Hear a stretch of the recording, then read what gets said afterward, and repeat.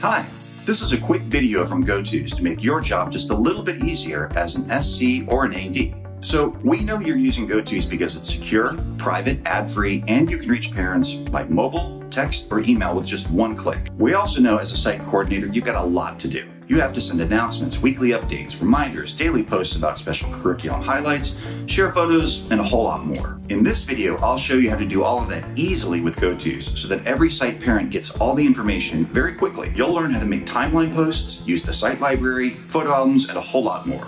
So let's get to it.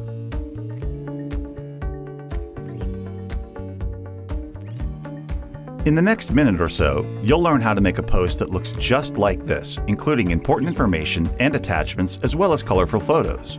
First, click the Groups icon. Then, select the group for your site.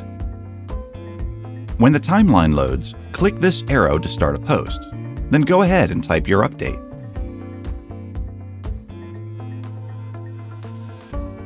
If you want to add a little flavor to the post, click the emoji button and select something fun. If need be, an AD can mark this as an urgent post, sending it to parents' phones. Now, it's time to add some attachments. Click the paperclip icon. Let's get a photo from one of the group albums, maybe from last year's soccer tournament.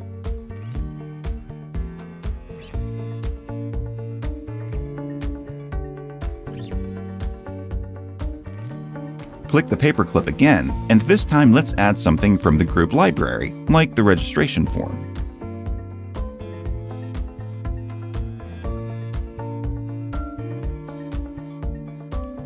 Finally, let's include something from the computer, like a photo. When you're done, click the Share button. And now, the post is on the site timeline, including the registration form and the photos that you wanted the parents to see.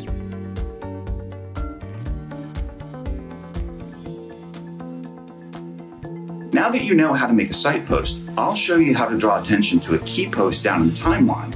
This can be really useful if you want to make sure that certain content isn't buried further down. Take a look at this scrolling banner. This is actually a clickable link that will take you directly to a specific post no matter where it is in the timeline.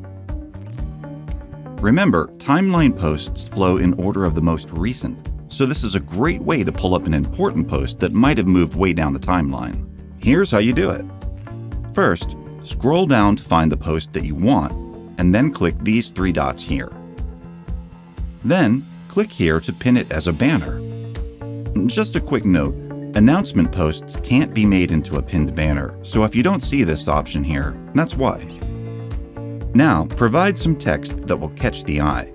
A good practice is to include click here as part of the text. And that's it, you're done. The site also has a repository for photos that can be organized into albums. Uploading pictures is really easy, and your AD will have already created the albums that you need. Let me show you how to use them. Click to see all the albums your AD has created for the site. Find the one that's most suitable for your photo and click it. Then click Add and browse for a photo on your computer to upload.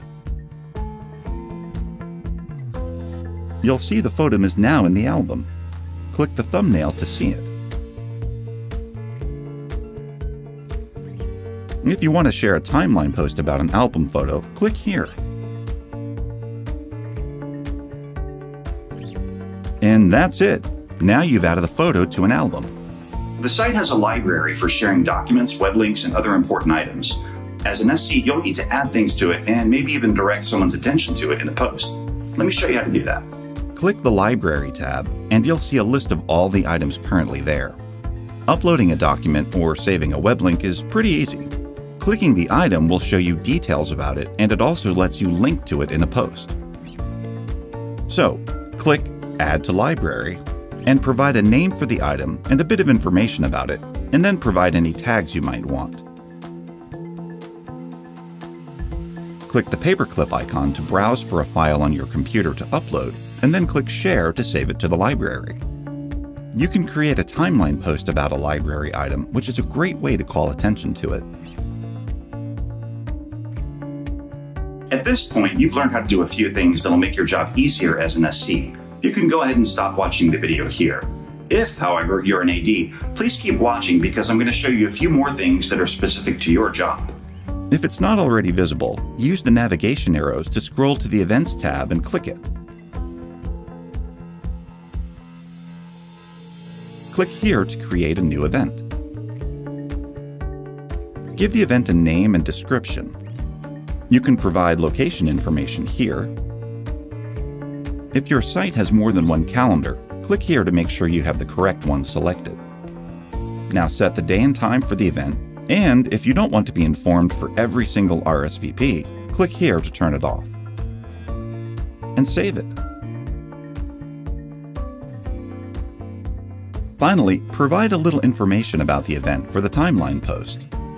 And that's it. The event is now in the site calendar and everybody has been informed with the timeline post. Well, hopefully this video has been really helpful to you. We've shown you a few things that are quick and easy that will make your job faster and simpler. Thanks for taking the time to watch it.